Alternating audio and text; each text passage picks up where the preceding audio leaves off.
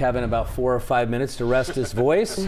right back to him. Things are calming down a bit, not out of the woods in some spots, but much more volatile earlier tonight. Oh, it certainly was. And, you know, when we were looking at this earlier this afternoon at five and six, this is kind of what we were concerned about the fact that uh, we knew that if storms could get going, then they could be capable of producing tornadoes and be quite intense. And they finally got going, and that's kind of where we landed here this evening. It, uh, fortunately, even as radar right now is still ugly, we are beginning to see things wind down. And I use that in the general sense, in the sense that the severe component of a lot of what has happened tonight is really quickly beginning to fade away, okay? And I'll point first things first out by this right here. You see this faint green line? I've talked about this several times.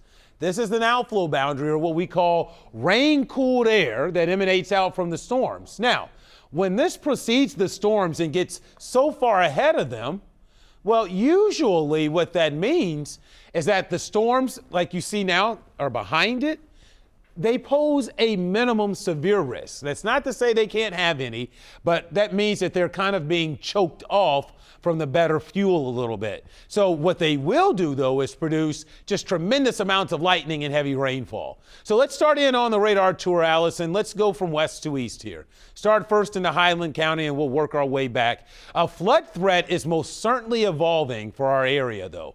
And that's what I'm concerned about. Right now, out here in Highland County, heavy rain, maybe some gusty winds heading towards Marshall, for example, the Rainsboro community. But none of this is severe. It's looking a lot more ragged than it did earlier this evening. Probably some 30, 40 mile an hour wind gusts with that. Slide you south and let's go west. Take you through parts of Brown, Clermont counties. Heavy rainfall out here, thunder and lightning. But again, see this green line preceding the thunderstorms?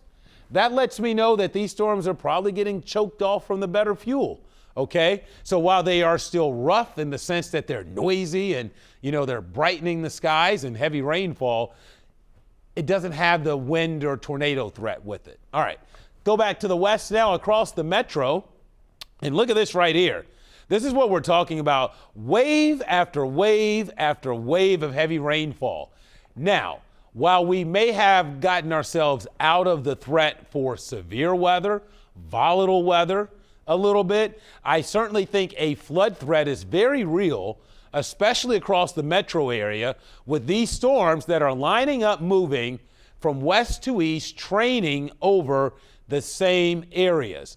Poor drainage areas will collect water, bottom of hills, underpasses, Water will pile up in these areas. Your basements could take an issue with this as well. With round after round of heavy rainfall, look at this, really setting up now from downtown Cincinnati through the west side of Hamilton County. It is just pouring in buckets. Let's go on west, Allison, into southeast Indiana, and you can see the rain train continues. And what's worrisome to me is the fact that storms keep regenerating here. So these storms are being fed and basically, they're just lining out in what we call training or essentially moving over the same areas. So let's come out, Allison, show the big picture. I'm happy to report that a number of us north of the Ohio River are now out of the tornado watch, okay? And for the most part, again, the threat for severe weather has really decreased unless you're ahead of this outflow boundary. Now, here's the flood threat. Notice how everything continues to basically line up from west to east. So we may still have several more hours of heavy rain and thunder and lightning to deal with tonight. But in general, you should be able to sleep uh, reassured that most of the severe threat is over with now. Let's go to tomorrow because we've been talking about a multi day severe potential here. And this is tomorrow's severe weather outlook. I still like where we are with this. I think the greater threat for severe weather tomorrow is actually far south from here. I suspect when we get the new update from the Storm Prediction Center, we will probably find ourselves still in a slight risk, but I think the enhanced risk, the greater real threat for severe weather it, tomorrow, as I've been saying, I was more concerned about today than tomorrow. I think the greater risk for severe weather tomorrow is well to our south, really generally south of Louisville and Lexington, more in the direction of central Kentucky is where I think we're going to have more concerns tomorrow. So here we are. Futurecast not really doing the best of jobs with these storms because look where they have them. It's actually way down here now. But the general theme is for these showers and storms to get out of here after midnight. We'll probably wake up to partly cloudy skies in the morning. Tomorrow looks like a beautiful day during the day. And then as we get into tomorrow evening, watch what happens. Scattered showers and storms are likely to come through. However, I think tonight's storminess is the saving grace for tomorrow, okay? So we paid for tomorrow tonight. And while we'll have some showers and storms, I don't think they're going to be significant like they were this evening.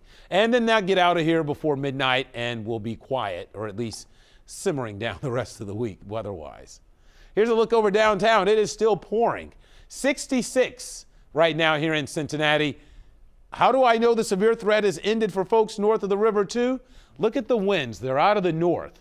So we've seen a shift in the wind direction.